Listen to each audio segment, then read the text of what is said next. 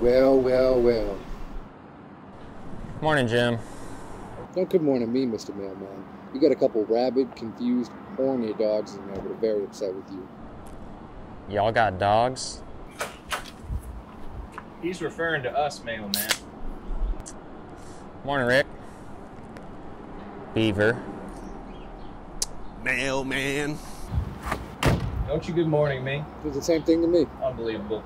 Make sure you wait outside the house. I am outside the house. Making sure. Okay, then, what's the problem? You know what the problem is, bud. Can't say that I do. Oh, you do. No, I don't. Yes. No. He doesn't know, Ricky. Where you been, bud? Yeah, where you been? We've been waiting on the mail for a few days. Running a little behind, boys. Got a lot of mail to deliver, believe it or not. Bunch of people ordering pointless shit off the internet they don't even need. Don't you blame the internet. We have a very important delivery coming our way that's supposed to get here yesterday. It didn't come, so I'm blaming you. I wasn't on shift yesterday. Tough titties, I'm blaming you. Where's our mail? Right here. Our mail from yesterday, our package. What package? A very important package that we desperately need. What is it? None of your business. 68 rolls of toilet paper. 68 rolls of toilet paper. Couldn't go for 69, huh? We opted for 68. I haven't seen you yet. Must be late.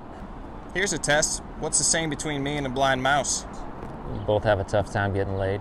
Wrong. We both still haven't gotten our toilet paper from the mailman.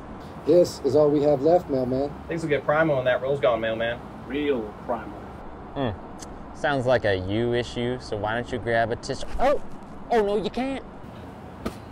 We'll be back. Sit, down, Beaver. Let Ricky handle this. Nice shorts. Part of the uniform. Do they come with the high socks or is that just to hide your tiny calves? How does a man that walks all day have tiny calves? Must be bad genetics. Mm-hmm. Maybe your toilet paper will get lost. Nope, nope, No, nope. no, no. I wouldn't do that if I were you, mailman. You likely to get whipped with a wet towel. You do that. You don't even have a towel. Or do I? You don't want to mess with Jim when he has a wet towel in his hand. He can whip the herpes off a whore with that thing. With the Botox off of Beverly Hills middle-aged man on a Tuesday. That's awfully specific. Maybe I done it. That's wet with water, right? Only one way to find out.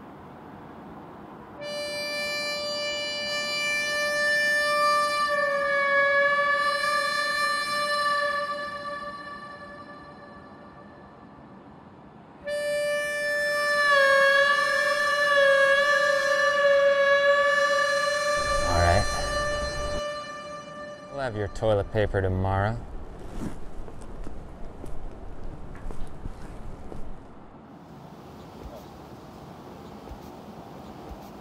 Well, I hope we do, mailman, because you might be hearing this in the middle of the night.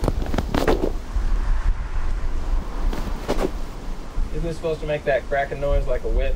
Yeah. Here, let me try. I know, I got it. I'm gonna go get another beer.